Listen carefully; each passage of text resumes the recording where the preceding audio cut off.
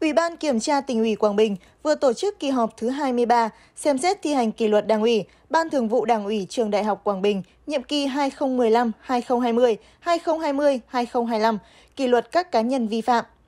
Theo kết quả kiểm tra khi có dấu hiệu vi phạm đối với Đảng ủy Trường Đại học Quảng Bình, Ủy ban Kiểm tra tỉnh ủy Quảng Bình nhận thấy Đảng ủy Trường Đại học Quảng Bình có khuyết điểm vi phạm trong lãnh đạo, chỉ đạo xây dựng và tổ chức thực hiện quy chế làm việc, thiếu kiểm tra, giám sát cán bộ, đảng viên trong quản lý, sử dụng nguồn kinh phí từ ngân sách nhà nước có nội dung không đúng quy định.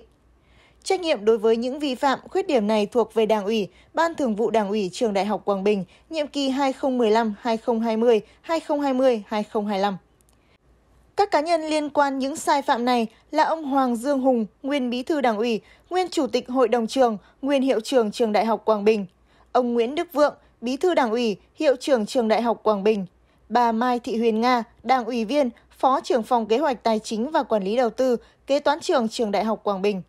Xét nội dung, tính chất, mức độ, hậu quả, nguyên nhân vi phạm. Căn cứ quy định của Đảng, Ủy ban Kiểm tra tỉnh ủy Quảng Bình quyết định kỷ luật khiển trách đối với ông Nguyễn Đức Vượng,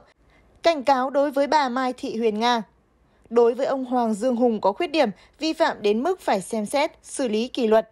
Tuy nhiên hiện ông Hùng đã chuyển công tác và chuyển sinh hoạt đảng ra khỏi đảng bộ tỉnh Quảng Bình. Do đó, Ủy ban Kiểm tra tỉnh ủy Quảng Bình sẽ báo cáo tổ chức đảng có thẩm quyền xem xét theo quy định.